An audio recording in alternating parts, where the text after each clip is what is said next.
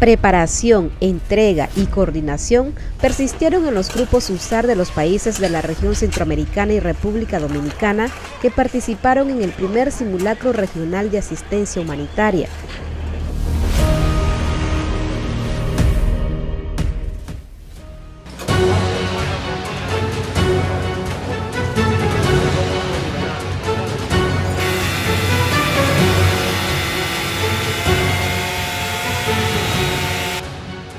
Acciones de coordinación con días de anticipación, práctica y preparación del equipo fueron parte de las acciones desarrolladas para montarse en la aventura de participar en un ejercicio donde convergen varias naciones con un solo objetivo, salvar vidas.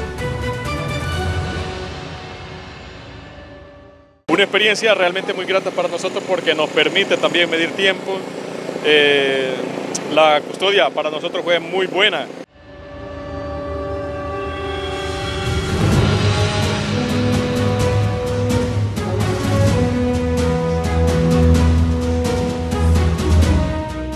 Una experiencia planificada desde el desplazamiento de las fuerzas operativas de rescate hasta los mismos escenarios fue algo que marcó un precedente para quienes recurrieron miles de kilómetros.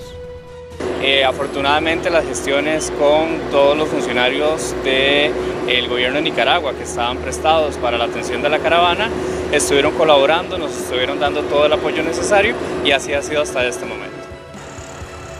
Y es que cada detalle hacía la diferencia, pues se trataba de aplicar los procedimientos establecidos en instrumentos nacionales y protocolos de coordinación de asistencia humanitaria del MENREC SICA. Eh, hemos tenido un buen, un buen periodo de, tránsito y en las aduanas nos han ayudado a agilizar todos los trámites. Experiencia grandísima, desde, eh, desde el paso que dimos por la frontera de Honduras y Nicaragua, la forma como ingresamos, ¿verdad? la forma como se nos hizo eh, el registro nuestro, eh, bien expedito y todo.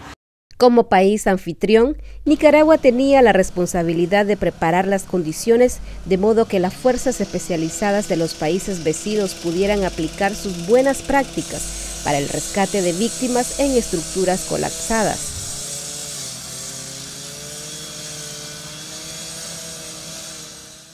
Ser el país anfitrión para nosotros es un logro, un logro precisamente porque nuestro buen gobierno ha dado todo sí para demostrar que las capacidades de respuesta de las instituciones y tanto de la población se compaginan para realizar una buena, una buena labor a la hora de un desastre como este.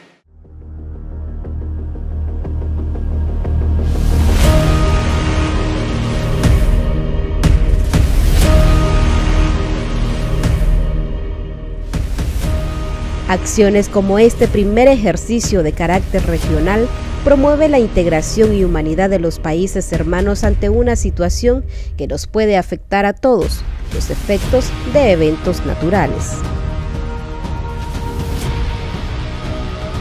Ver la metodología de cada uno de los equipos a nosotros nos ha favorecido, ya que vamos a tomar las buenas eh, prácticas de los equipos para incluirlas dentro de nuestro accionar. Bueno, afortunadamente tuvimos una muy buena atención y acompañamiento una vez que la delegación costarricense llega a la frontera, ¿verdad? Porque aquí hay que considerar dos escenarios. El paso por la frontera costarricense y luego el paso hacia eh, territorio nicaragüense.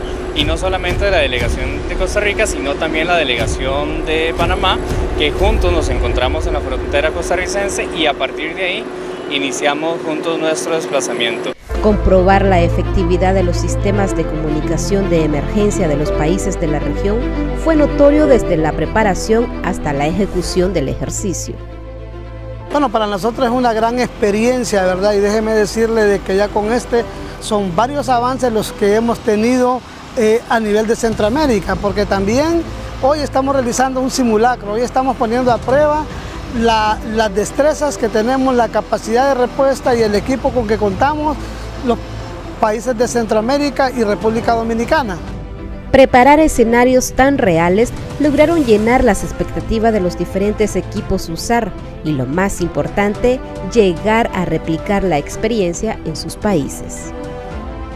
Eh, nosotros siempre estamos entrenando en esta vía y nos encanta ver que haya eh, los procedimientos y protocolos adecuados y además que también nosotros conozcamos de, los procedimientos internos de cada lugar donde vayamos para que se puedan cumplir y no salirnos de las líneas eh, nacionales donde estemos. Encontrarnos con un escenario muy bonito que han preparado para poder pedir respuesta y, apoyar a, otro vecino país, pero principalmente la experiencia para llevarla a nuestro país y ponerla en práctica en caso de que suceda un terremoto de gran magnitud que puede dar un desastre pues grandísimo. Llevar a la práctica los protocolos regionales para el traslado de ayuda humanitaria en emergencias fue uno de los propósitos de este simulacro.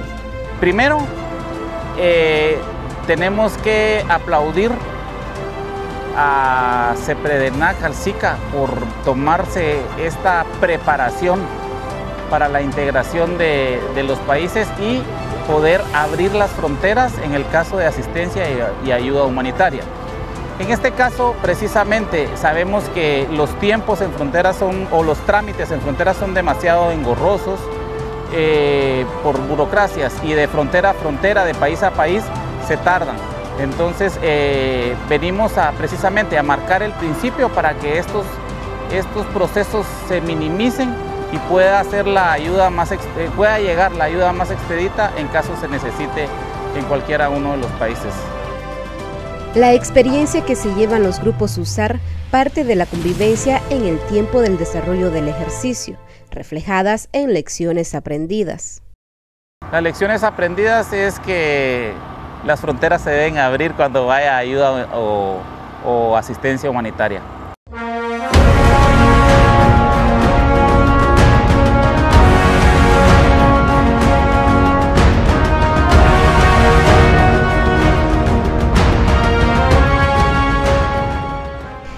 Duda alguna, las buenas prácticas son las que denotan el éxito de acciones encaminadas hacia un bien común. Y Nicaragua ha sido ejemplo en todo momento, un lugar que se ha logrado con años de trabajo conjunto con el modelo de persona, familia y comunidad.